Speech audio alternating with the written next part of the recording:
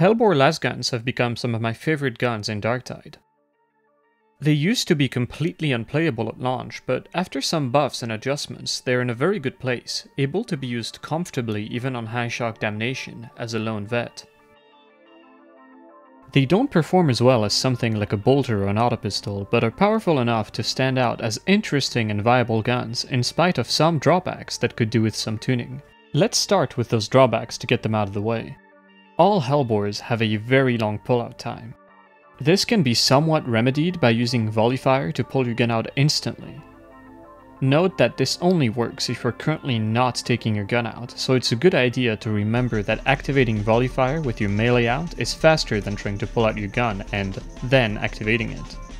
Keeping your gun out for as long as possible is generally what you want to do on Veteran, but it goes double for Helbores.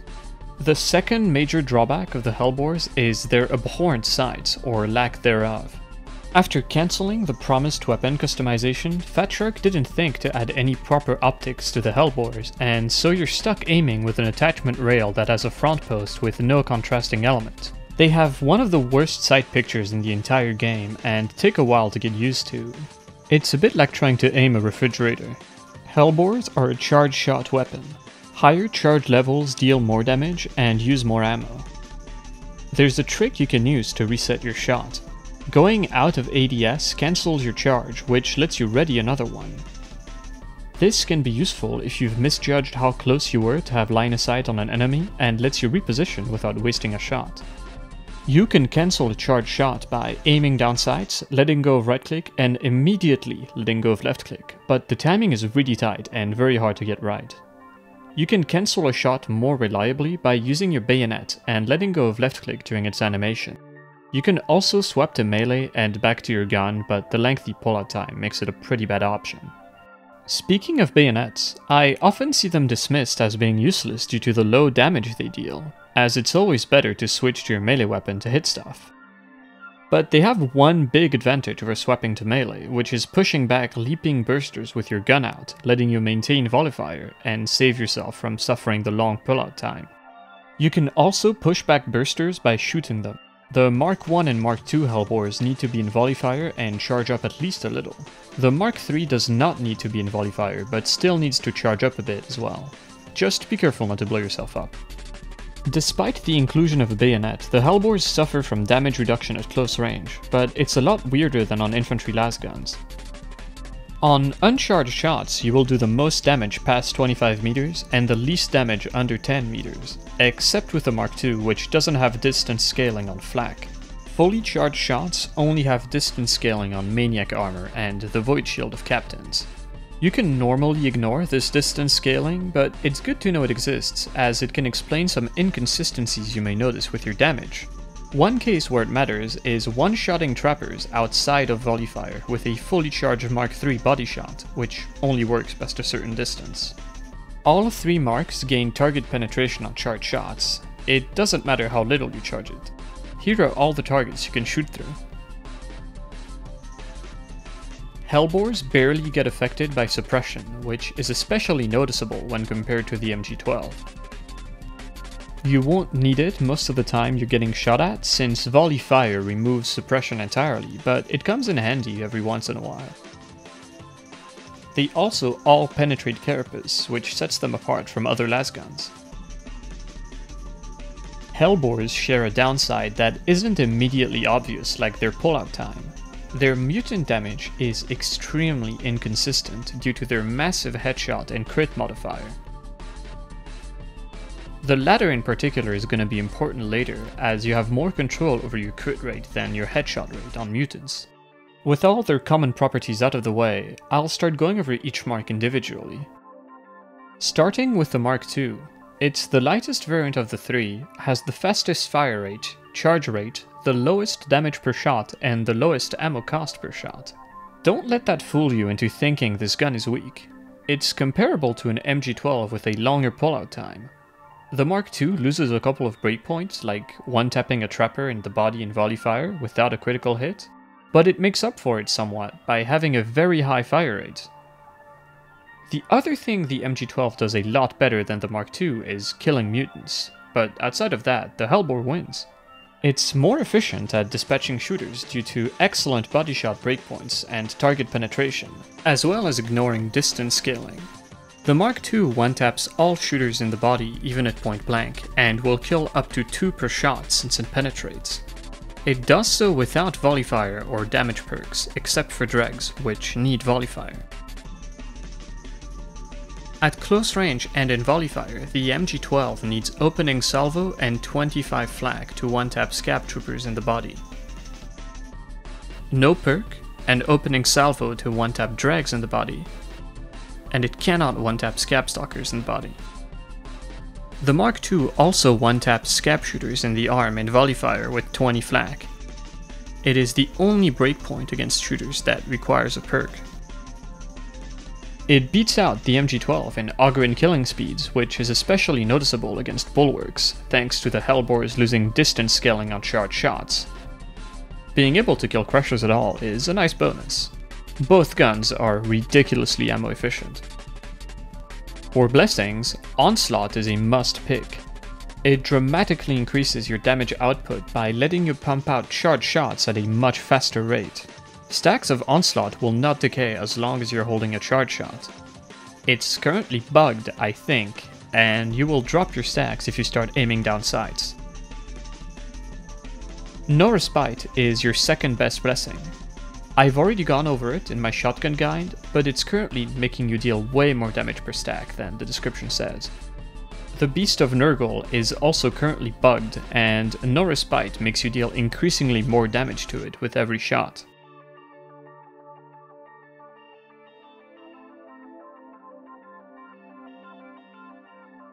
It also gives you a 2-tap breakpoint on dogs outside of volley fire. Other than that, it's mostly opportunistic damage against staggered enemies. The other blessings are either not very good or don't work well with the Mark II.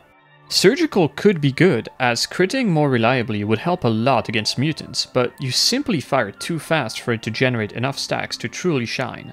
You'll have one or two stacks at most if you fire fully charged shots with Onslaught 4 as fast as possible. Falter is bad. At the moment, it doesn't really do anything. Staggering on headshots wouldn't be a desirable thing anyway, since if it had a significant effect, it would just cause you to potentially miss your follow-up shot. It's especially weird to see this blessing on a weapon type with such high damage headshots. Sustained fire could be good, but currently the reset period between what the game considers a salvo is way too long for the bonus damage to be useful, as it requires you to slow down your rate of fire significantly to make any use of it, making you deal less damage than if you'd simply kept shooting normally.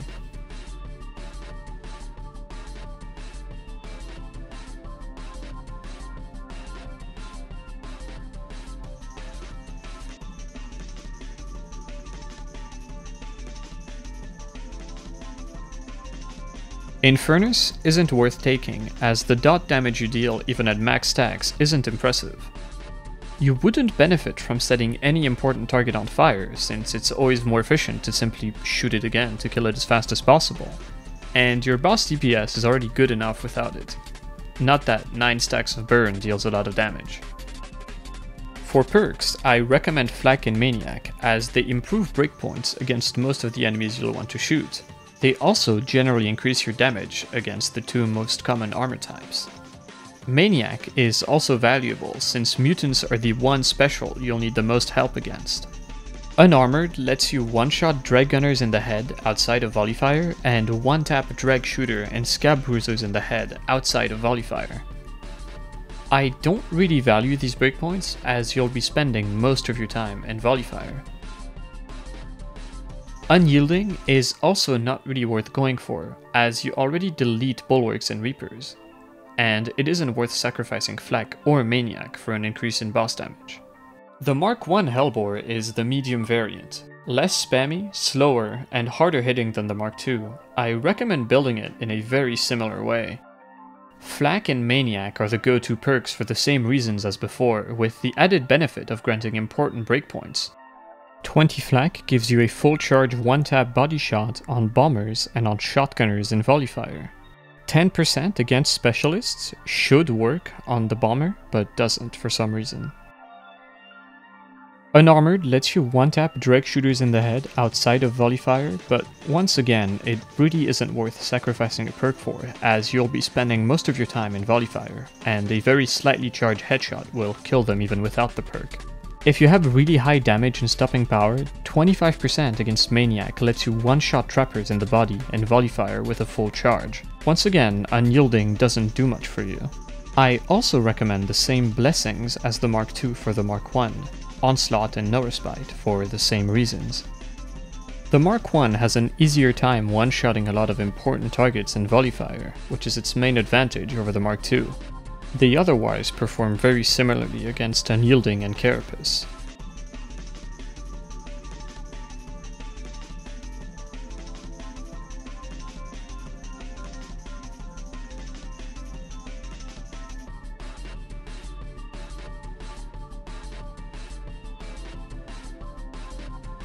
Although the Mark II is more ammo efficient, they are both extremely generous with their reserves, so it isn't really that much of an advantage. Their biggest difference is when it comes to magazine size.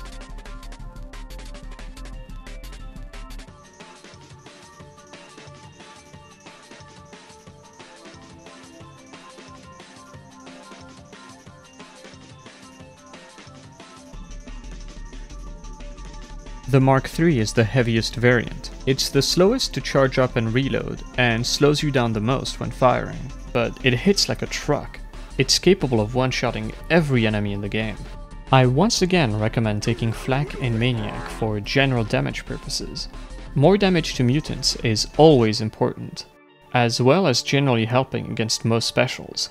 The same goes for Flak, it gives you one-shot body shots on gunners and volley fire, and with Sniper will let you one-tap Scab Troopers in the body in volley fire with an uncharged shot. Outside of those breakpoints, it's extra damage against most targets you'll be shooting. Other perks won't really do much for you. When it comes to blessings, the Mark III is a little spicier.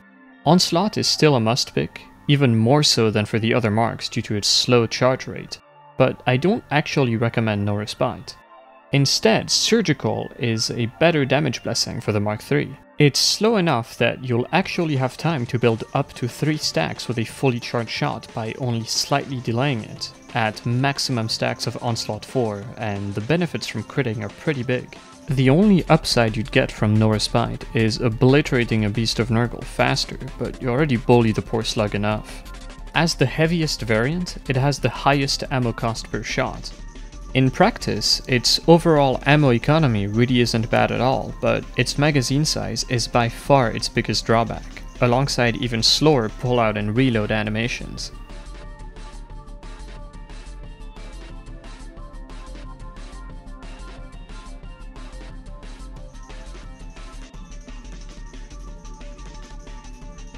The usual meta feats work very well on Helbores, but they aren't the only good picks for them.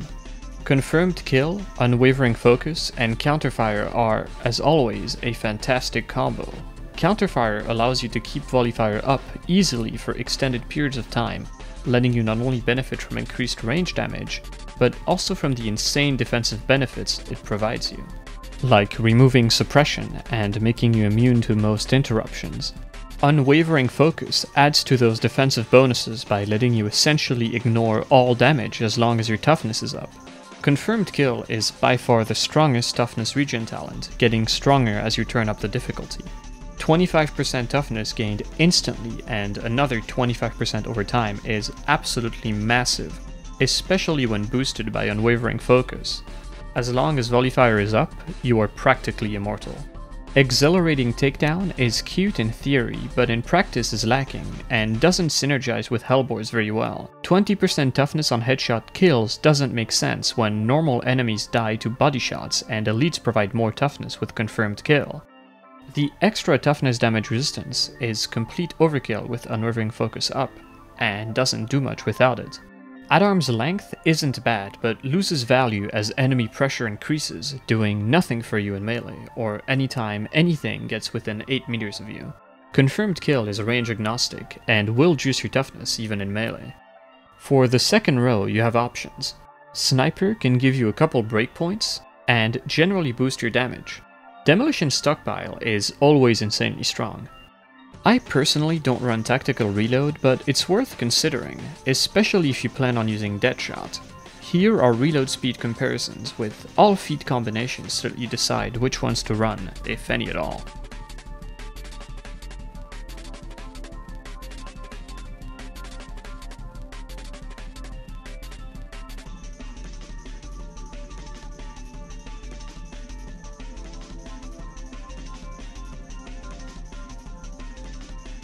Demolition Team is, as always, a must pick. This is the only source of grenade regen Zealots and Ogryns have access to, and the higher the difficulty, the more value you get out of it. Bioptic targeting has no real advantage, as the vast majority of specials come running at you from predictable spawn point while violently screaming and shaking. Should you need to point out an unpredictable enemy, like a sniper that's out of sight, simply call him out in voice chat and place an enemy marker in his direction. Covering fire just isn't very good, as you're better off removing priority targets than shooting into trash to pump someone's toughness when they would likely benefit more from a grenade. It's comically situational, only getting value if someone else is low on toughness, in melee, and there is nothing to shoot. And even then, how much value you're actually getting is questionable. For the fifth row, one after another is always a strong pick, as it makes chaining volley fire a lot easier. Deadshot is actually quite strong for Helbores. Your accuracy while hip firing is very good in volley fire, even if a little inconsistent. And crits help your damage a lot, especially against mutants. If you're worried about needing to run duck and dive to support Deadshot, I have a little trick to show you. Getting shot while moving will cause you to gain stamina. In volley fire, with unwavering focus up and confirmed kill to juice up your toughness when you need it, you can effectively regenerate stamina on demand by simply walking around while shooting. Fragstorm doesn't really do anything for you with Helbores as you don't have pinning fire available to boost the bleed damage, and the other options are much stronger. I've already gone over counterfire and why I recommend it. The other options really won't do much for you. Your reloads aren't long enough to benefit greatly from sustained fire, and with unwavering focus and confirmed kill, you'll rarely need a panic toughness button. The bigger they are is objectively not a good pick on Helbores, as you already melt important Ogryns and have great monstrosity damage provided you can land weak spot hits. It is, however, a very funny pick, letting you do very funny things like chaining Volley Fire with a Beast of Nurgle and one-shotting Crushers with a Mark III.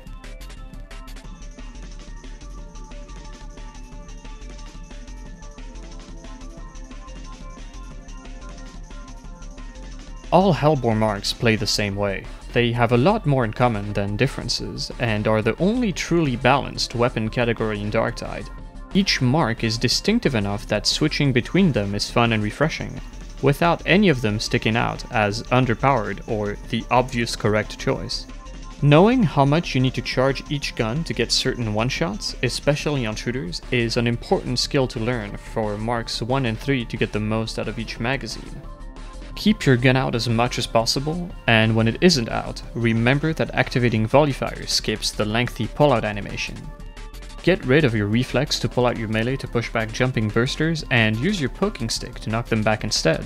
Keep chaining, shooter body shot one taps, make use of target penetration, and keep an eye on your magazine so you're not caught off guard without enough ammo to charge your next shot. And that's it for this guide. I'd like to once again thank Meme Macedon69 for helping with the script, as well as Commissar Tier and Tiny Angry Crab for their insights. I'd also like to thank Vas Yanovich for making playing this game more bearable and helping me double check on my breakpoints. I plan on making more guides for Darktide, so feel free to subscribe if you enjoy this type of content. I also stream this game on Twitch at the highest difficulties when when I'm allowed.